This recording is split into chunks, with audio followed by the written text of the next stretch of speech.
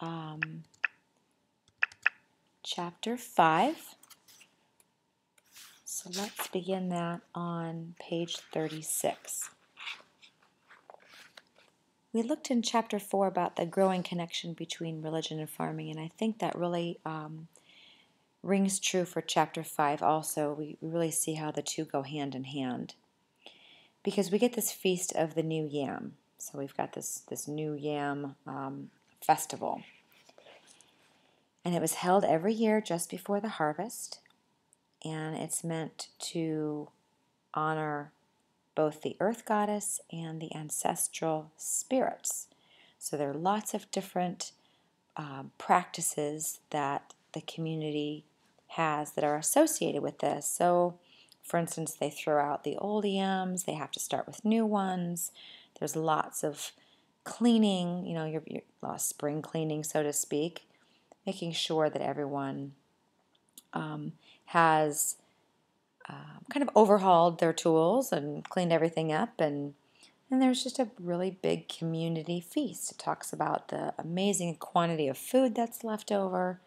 So you get both a sense of the community that's involved, um, coming together, sharing the food at the table, and um, that's really a very happy time meant to be a celebration.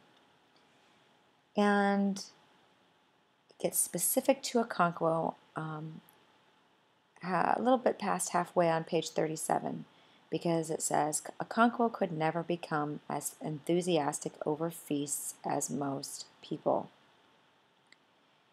He was always uncomfortable sitting around for days waiting for a feast or getting over it. He would much uh, he would be very much happier working on his farm. And again, he's very driven by his fear of weakness. And so what makes a man, you know, or what, what best displays a man's strength than hard work? Whereas resting and partying to him just harkens back images of his father, and so he's agitated at all times when he's not working.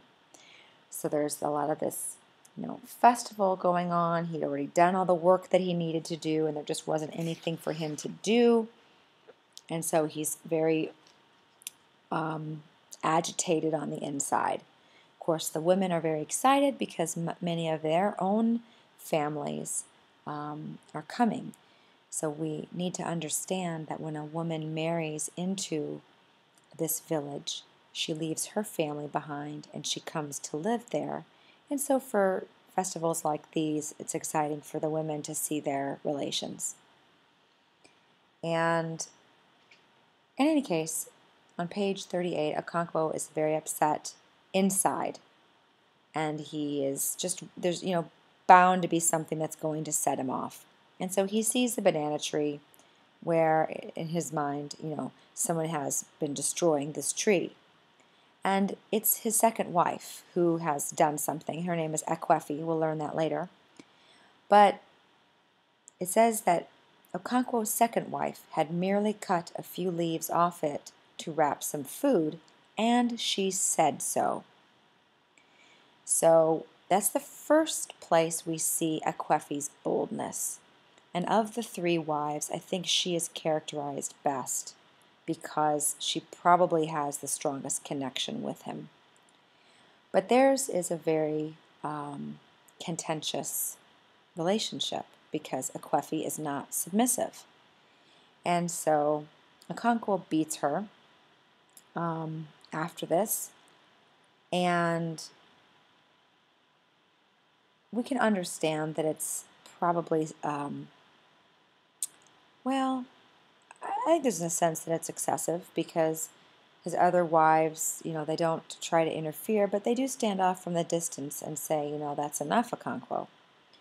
But anyway, after he does that, he decided to go hunting.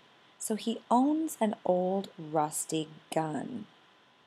I think that's very interesting because later in um, the chapter, I'm trying to remember which one it is think it's chapter 8. Um, there's a mention of a white man, but no one's ever seen one. And so here we are with an old rusty gun, which is a tool of the white man that, that was brought to Africa, especially West Africa. So he has, they have the tool, um, the weapon, but they've never seen the man. So I think it's really um, interesting that the weapons arrived before the people. Okay? In any case, Okonkwo is a good hunter, or, or sorry, is not a good hunter, and especially not with his gun. And so when he calls Ikemefuna to get this gun, Ekwefi mumbles something about guns that never shoot. In other words, yeah, the gun that you can't do anything with. And so Okonkwo heard it and he's furious. And so he gets the gun and he literally aims and fires. Actually, I'm not even sure if he aims. Maybe he doesn't realize he needs to do that because it he doesn't. Um, the bullet doesn't hit her. And it says on page 39 that she was on her way trying to climb or scale over the wall around the barn. And she was shook up, but she wasn't hurt, so he missed. And it says, he heaved a heavy sigh. So I think there's a sense that even Okonkwo is, um, I don't know if frightened is the right word, but definitely horrified by his own sense of rage. Okay, there was lots of happiness about the, fe- the festival. Um, we see Okonkwo's uh, reverence because he, uh, you know, definitely prayed and offered a sacrifice to the ancestors and asked them to protect him and his children and the mothers of his children for this new year. So again, we get another example of, of a people who are, um, you know, very much a people of faith even if their practices are vastly different. Okay, um, the second day starts the wrestling match. And we get another, another story about Ekwefi, his second wife. And she really uh, looks forward to the wrestling match because it reminds her of the time that she saw Okonkwo. In fact, it, we learned that she was the village beauty. And the first time that, um, you know, she really had feelings for Okonkwo is, is when she saw him in all his glory in that wrestling match where he threw the cat. Okay? we see that she couldn't marry him because he could not afford her bride price. We'll come back to that later in, in European tradition, there was a dowry which the bride's family had to come up with um, so that they could be married. And in this culture, there's a bride price, which the son's family has to come up with to get the bride. Okay, um, then we learn that Ekwefi ran away from her husband um, and came to live with Okonkwo.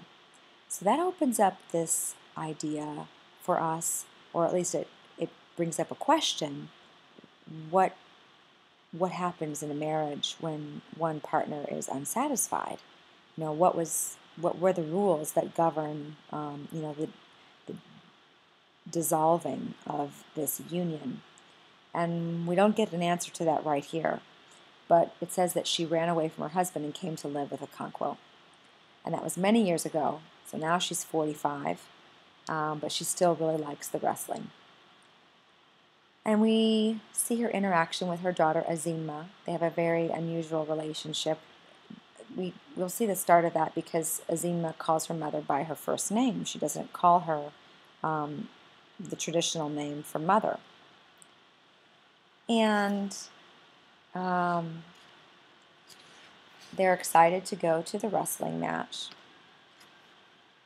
And Okonkwo likes them as well. He's very much, um, you know, he feels very stirred by the drums and just the raw physical nature of the wrestling match because you know, he really um, connects with that because he values strength and masculinity, or at least that kind of masculinity. um, he, he, he really values that. It says on page 42, uh, towards the bottom, he trembled with the desire to conquer and subdue. That those um, acts of aggression, conquering and subduing. Uh, so he enjoys the sport for that reason. Okay. And his desire for a woman is also about conquering and subduing.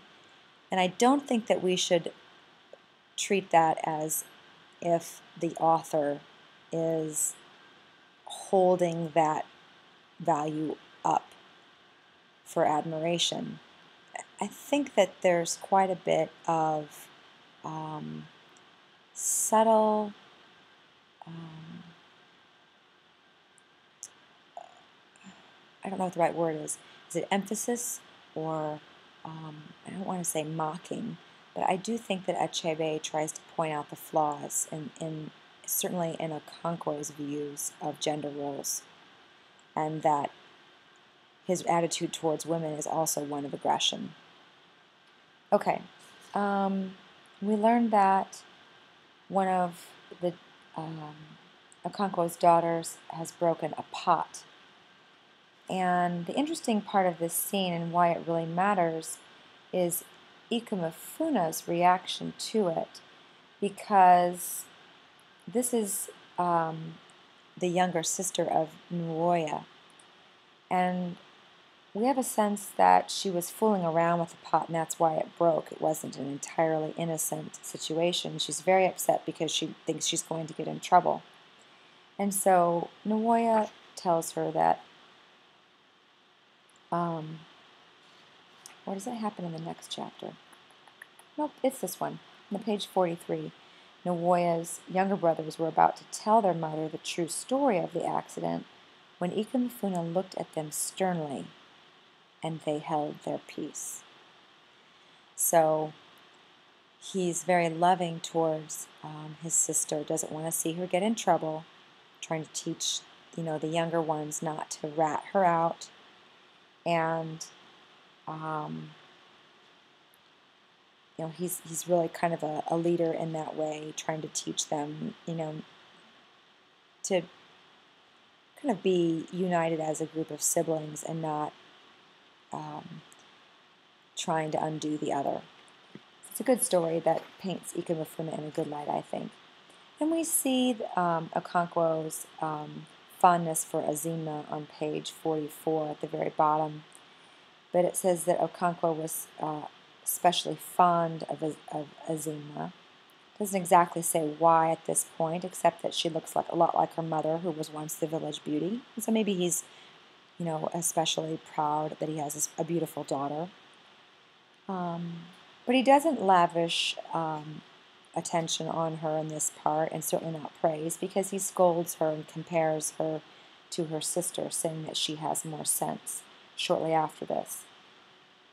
And we also see that daughters are learning a role because it's definitely the woman's job to make the meals for um, the husband and those meals are delivered one at a time into his his hut called his obi by each one of the daughters.